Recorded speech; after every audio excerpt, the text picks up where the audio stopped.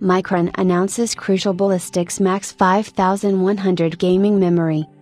Crucial, Micron's global consumer brand of computer memory and storage, today announced its limited edition Crucial Ballistix Max 5100 gaming DRAM.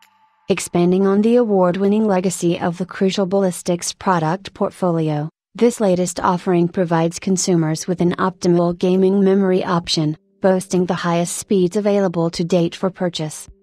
Crucial Ballistix is the only brand of gaming DRAM that incorporates custom tuning at the die level, resulting in world record setting performance.